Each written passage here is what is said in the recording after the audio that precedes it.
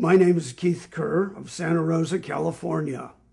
I'm a retired brigadier general with 43 years of service, and I'm a graduate of the Special Forces Officer Course, the Command and General Staff Course, and the Army War College. And I'm an openly gay man. I want to know why you think that American men and women in uniform are not professional enough to serve with gays and lesbians.